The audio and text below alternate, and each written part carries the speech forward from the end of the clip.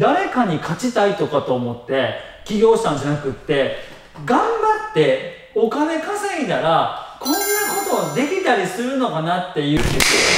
はいどうもこんにちはマスターです。今日はですね、えー、私のマインドセットとはについてですねあのちょっと聞かれましたんであなたはマインドセットどんなマインドセットしてるんですかということについてですね、はい、少しあのお話ししていきたいなと思います。いつまでも長くなるかもしれないですけれども私なりにいろいろ解説していきたいなというふうに思いますけれどもこれちなみにこの質問の意図は何ですか？はい、もうでも増田先生といえばマインドセットみたいな、まあ、そのマインドセットっていう言葉自体はちょっと便利ワードというかなのでその何そうねそうね。その中身を聞きたいな。なんかあの業務フローとかね、そうお前何のことが分かってるかとかね、そうこう認知とかとかいろいろありますけれどもそういう意味でマインドセットって話ですけれどもまず一番最初にマインドセットってどういう意味かなんですけどもこれまさに考え方っていう意味なんですよね、僕自身は多分今まで例えば YouTube を始めて10年以上経ってると思いますけれどもやっぱ昔からお客さんたちだったりとかお金に対してだったりとか時間軸に対してだったりとか自分の人生に対しての考え方を数多く多分チャンネルで言ってるのでビジネスのテクニックというよりもそのマインドセットの方が世の中の人たちの認識としては強いのかなっていう感じですよね、はい、はい、なので僕のマインドセットって一体何かっつっていろいろファクトを探してたんですけれどもお金とか時間とか仕事とか人間関係とか未来とか過去とかライバルについてっていろいろあるんだと思いますけれども僕そもそも自分が起業しようと思った時なんかまさにこれなんですけれども誰かに勝ちたいとかと思って起業したんじゃなくって頑張ってお金稼いだらこんなことできたりするのかなっていうそういうところからやっぱり一番最初は始まったのでで誰かに負けたこととかって僕全然ないんですよ。そもそもこっちは勝負してねえみたいな感じですよね。ただやっぱりこれを見てくださってる店舗の人だったりとか治療の人たちだったりとか思うかもしれないですけれどもやっぱ誰かライバルがいて師匠がいてとか僕も師匠はいましたけれどもでも師匠に勝ちたいと思ったこともない。ライバルに勝ちたいと思ったこともない。それなんでないかって言ったら自分たちの明確なゴールっていうのがもう明確なんですよね。今だったら100億円企業を作ることだけに注力してますけれどもどっかから声がかかってこう IPO やりませんかとかどうとか言われて100億に行くっていうイメージしか全然ないですけれどもじゃああの企業に追いつくためとかってモデルケースはありますけど、モデルケースがライバルじゃないもんね。という意味で。治療の時でもそうでしたけれども僕が一番最初に28歳の時にチラシ巻いていってマーケティングとかセールスしていた時の時期ですけれども今から13年ぐらい前ですけどその時も当時の師匠っていうのが一人治療院で大体月1200万ぐらい稼がはるんですよ。ね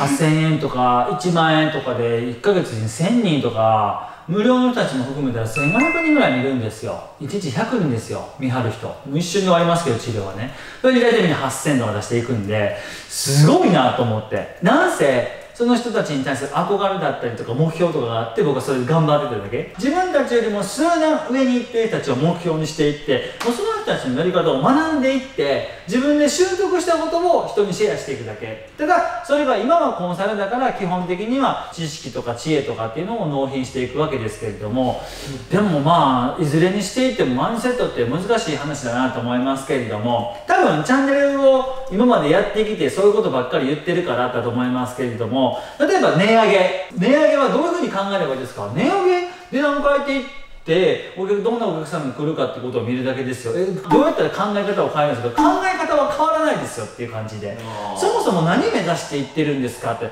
で僕このマインドセットっていうのはもう結構この質問に凝縮されるんじゃないかなと思いますけどむちゃくちゃ考えないとこの答え出ないですけれどもあなたは一体何なんですか？なんですよあなたは一体何なんですか？あ編集ですか？でもそれここの裏でやってくれますよねとかね。あなんかアドバイスしてくれるんですね。えでもそれってなんか変な話教えてグーとかで教えてくれるんじゃないですか？ってなったら代わり聞きますよね。で報酬稼ぐ人たちのマニフェストって代わりがないんですよ代替品がないというかあこの話するときにいつも思うのが僕王将の餃子なんですよ餃子の王将みたいな餃子食べたことありますええあるんじゃないですかえー、ないようんってなんねん。え？餃子の王将みたいなあれと同じような餃子食べたことあります？え？あれよりなんか肉汁ドゥーってある。でもそれはそれでしょ。ああなるほど。あれはあれでしょって。餃子の王将行く時にうわミンミンみたいな餃子食いたいなと思って餃子の王将行かないわけじゃないですか、わかります。僕まさにポジショニングとかマインドセットってこれなんじゃないかなと思ってて。そう。なのでポジショニングっていうのがマインドセットになるし結局僕も企業のアドバイザーだったりとかコンサルやってるわけですけどそんなん治療院とかでもそうですけどやってる人たちなんて死ぬほどいるじゃないですか。でもその中でもそんな金額がドカッとくるのかってどういう違いがあると思います？どういう違いがあるか。うんでっかい契約が来るか来えへんかの違いですよね。そうそう例えばそれも僕考え方次第だと思いますけどね。うあん。まあ、それぐらいは取れるって普通にこう思ってるからこそ来るみたいなところではないんですか？ご自身だったら逆の立場だったらその僕がさっき言った金額でどうですか？これもしかしてよちょっと今日来てもらいます？とか言われたらあ分かった行く行くみたいな感じでなります？だから自分でそれぐらいはできる人間だと思ってるし100億とか1兆円とかやる社長だなっていうふうにやっぱ自分のセルフイメージがあるんで。うん。だから多分きっと仕事は同じ内容とかでも見てる視点だったりとか視座が違うって言われたらすごい偉そうですけれども見てる点が違うかったらそれは大きく見えるし大きな契約にならざるを得なくなるんですよ。10万渡すんでこれやってもらいますから僕絶対やらないんですよそう。やるわけないじゃないですかって感じ。だってそれ他の人でもできるんだったら他の人に振ってあげた方が初めて契約してあげた人たちに対してはすごくいいですよっていう感じ。僕に振っちゃダメですよって。もっと他の人たちにチャンスをあげるためにとかってこれも多分マインドセットって言ったらマインドセットだと思いますね、僕はあの昔自分でまとめた冊子がありますけれどもターゲットは誰ですかってでターゲットは74億人ぐらいいる地球の誰かでいいんじゃないですかどっかいるでしょみたいなうん。って感じで。そう。その中で自分が狙ったところで釣りしていって釣っていく。で向こうからけ来て契約していくとかっていう感じのコンサルティングファームとして育てていこうと今は思ってますけれどもいずれにしていってもゴールと目的が明確でしかもそれが一般的な40とか41の人よりかはちょっと大きいってだけ。はいはいはいはい、だからって言って大きいって言うけれども誰かと対比して大きいんじゃなくって過去の自分からしてみたら結構大きいよねって感じ。もともと5000万とか1億とか借金あった中でいきなり5000万とか1億とかボボンっていうふうになりましたけどそれもやっぱり